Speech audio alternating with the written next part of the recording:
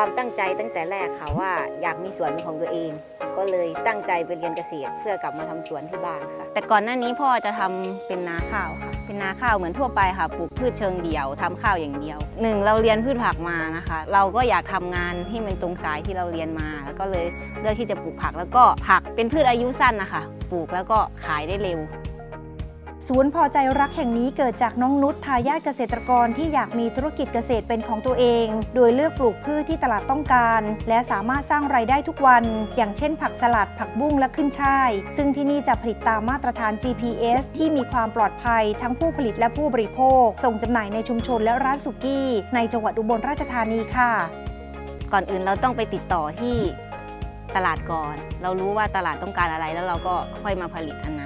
ช่วงแรกก็คือขายในตลาดชุมชนเลยค่ะ ในหมู่บ้านมีร้านก๋วยเตี๋ยวกี่ร้านก็ไปถาม ไปถามว่ารับผักไหมเราปลูกผักบุ้งนะขึ้นช่ายกวางตุ้งอะไรประมาณนี้ค่ะที่เลือกทำผักอินทรีย์เพราะว่าเพราะตัวเองเลยค่ะ เพราะตัวเองจะได้ไม่ต้องใช้สารเคมี ตัวเองจะได้ปลอดภัย แล้วก็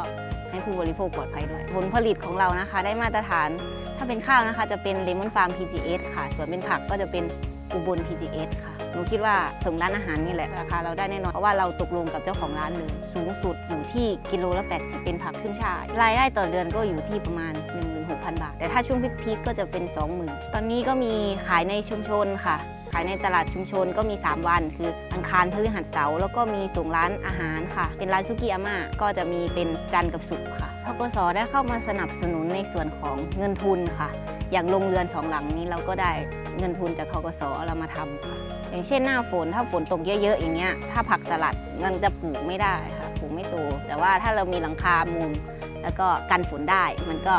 โอเคกว่า แล้วเราก็จะได้มีผลผลิตตลอดปี ปัจจุบันเนี่ยลูกค้าของธนาคารเนี่ยส่วนใหญ่จะมีอายุที่ค่อนข้างมากนะครับอยู่ในสังคม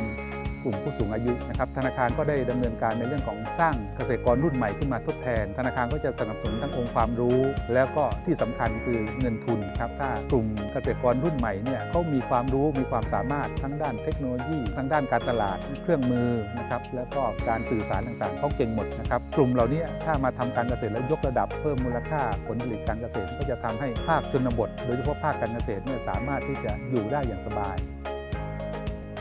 การจำหน่ายผลผลิตโดยไม่ผ่านพ่อค้าคนกลาง จะทำให้เกษตรกรสามารถกำหนดราคาเองได้ในราคาที่สูงขึ้น และมีรายได้ที่มั่นคง เจ๋งแบบนี้กดไลค์ให้เลยค่ะ สนับสนุนโดยธนาคารเพื่อการเกษตรและสหกรณ์การเกษตร